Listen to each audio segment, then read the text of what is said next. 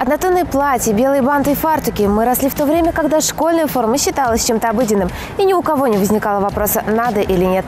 В 90-е ситуация изменилась, и долгие годы школьники ходили на уроки кто в чем хочет.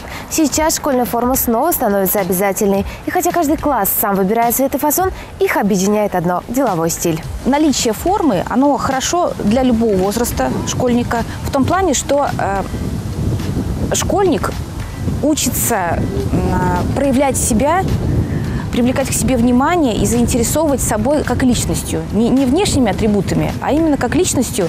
И э, ну, не, по, не по простому пути идет э, внешне выделиться или как-то э, там проявить себя, а именно приходится напрягаться, приходится быть там, интеллектуально более развитым, да, или эмоционально тоже подтягивать, да, общительным, коммуникабельным, э, дружелюбным, уметь устанавливать контакты дружеские. Те, кто выступает против школьной формы, приводят в свою пользу немало аргументов. Хорошая и качественная форма стоит достаточно дорого. При этом она не дает ребенку проявлять свою индивидуальность, не развивает чувство вкуса и стиля. А те, кто выступают за, в свою очередь убеждены, что форма помогает ребенку лучше контролировать эмоции, поведение и соблюдать дисциплину. Ребенок ребенок учится четко отделять э, дело, да, то есть это уже тренировка к будущей жизни взрослой. Отделять дело от э, личного общения, от взаимодействия немножко на, на другие темы.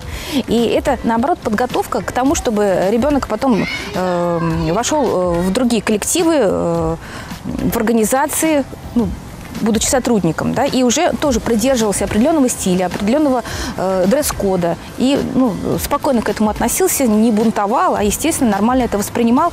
Несмотря на то, что родители, которые выступают против школьной формы, не так уж и мало, навряд ли образовательные учреждения в ближайшие годы откажутся от делового стиля. И вопрос здесь не только в дисциплине. Одной из главных задач школьной формы ее сторонники называют объединение детей разного социального статуса.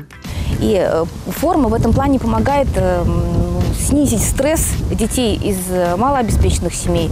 Ну, потому что мы знаем, да, что дети тоже на это очень сильно внимание обращают. Бывает и дразнят, бывает и как-то ну, не хотят дружить, не хотят общаться.